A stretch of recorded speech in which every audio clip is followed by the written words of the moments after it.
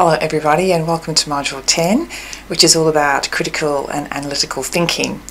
This is really one of my favourite parts of the course and I think that a lot of students do enjoy this topic as well. It might even make your brain hurt a little bit at times because it's really stretching your thinking um, but it is what I would consider to also be one of the most important things that we do here at university, and that is to teach people, if we do our jobs properly, to be critical and analytical thinkers. So you'll find that a lot of it uh, relates to what we talked about in Module 5 with research skills, and we started this process of evaluating information. We developed our information literacy skills and you'll recall that we used a particular framework of thinking to help us make judgments about whether information was suitable for use um, in academic writing or not. So the RAOC framework, uh, relevance, authority, objectivity and currency. So that comes into play here as well. It is part of what we're looking at here and certainly making judgments about authority, how trustworthy something is, uh, and objectivity. But uh, we also look at thinking in a more general sense, I suppose, uh, and we look at the way arguments are crafted uh, and how we can analyse things that are presented to us. So let's start by looking at the module itself this time. And just to be aware that you will uh, be doing quite a few activities from Cottrell looking at critical thinking in action and something called logical fallacies. Now, we do uh, an activity about that, and logical fallacies uh, sounds a little bit intellectual, I suppose, and it is actually a science, is to look at how arguments are crafted, what, what is the logic that's employed, and then how might that logic break down. That's the fallacy part. The way we look at it in this context is in a very um, easy to understand way, a very practical sort of application, and just get you thinking about how people do try and persuade us to a particular point of view. And you'll recognise that some of these techniques we use in our everyday life uh, where we make sweeping generalizations about a group of people or a situation, um, bandwagon statements where we assume that everybody thinks the same as we do while we all know that that's not going to work, don't we? Well, do we? Um, maybe not everybody does think the same as you. You'll see these sorts of techniques used a lot in politics, uh, in advertising, and just in the media in general. So it is quite interesting to really break down arguments and see how they're formulated and there is an activity there as well um, where you get to uh, apply your understanding of those concepts.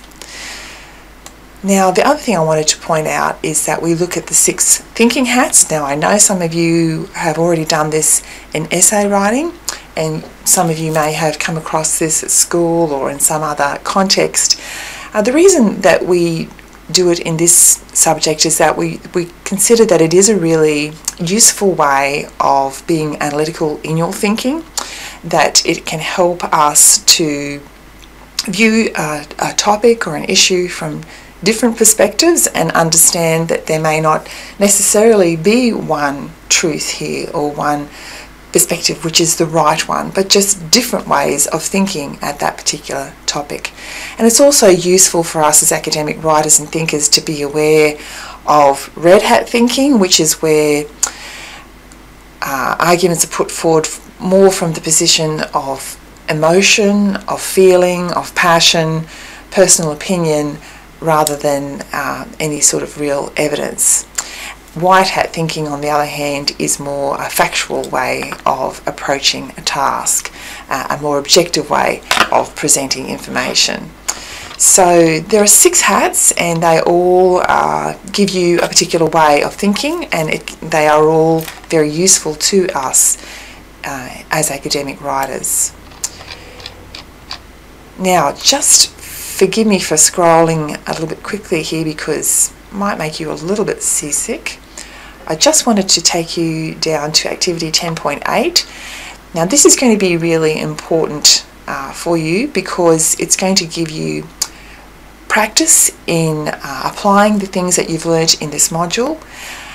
And you will be analysing a newspaper article, just a short one here from the Courier Mail. And there are a series of questions here uh, that you will be asked. And really you have to have done the module to fully understand how you go about that task. Now the other reason this is important is that in Learning, Port in Learning Portfolio B, rather than a series of self-reflections this time, you're actually going to be given a task very similar to this one, where you are going to be asked to analyse a newspaper article. So the explanation for that is given at the end of the module here. Um, but let's just take a look on Moodle so that you know exactly where you have to go.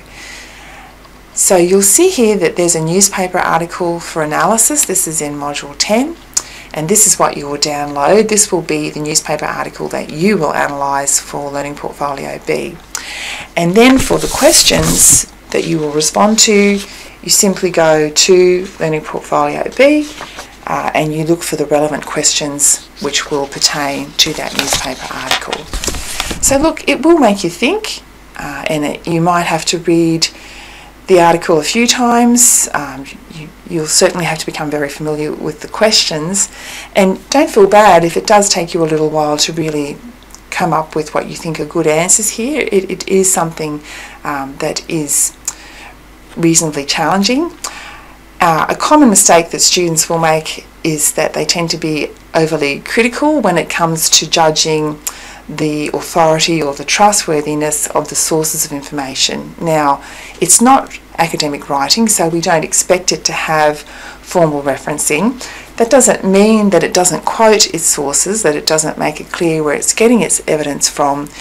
It doesn't mean that all of that evidence can be dismissed uh, as not being very credible. So just just a bit of a heads up there because sometimes there is that tendency to think, oh well, it's not academic writing, so I don't believe anything that it says. It's not quite as simple as that.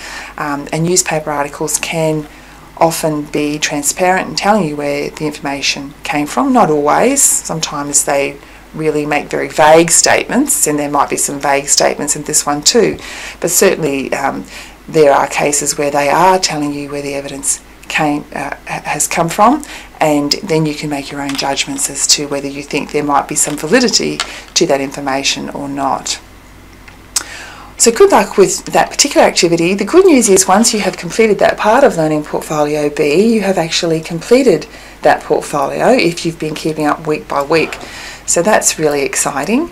Uh, and then of course that is due at the end of week 11 uh, you will upload that to uh, Moodle as you did with Learning Portfolio A. So please take advantage of the feedback that you were given for the first portfolio uh, and give yourself some time to polish your answers and make sure you're keeping within the word limit, the overall word limit, uh, and then you'll be in a good position to actually submit that final piece of assessment. So I really hope that you enjoy this module. I hope that it does stretch your thinking. Um, maybe you even will see the world in a slightly different way as a result. Who knows? Good luck with all of that and certainly good luck with Learning Portfolio B.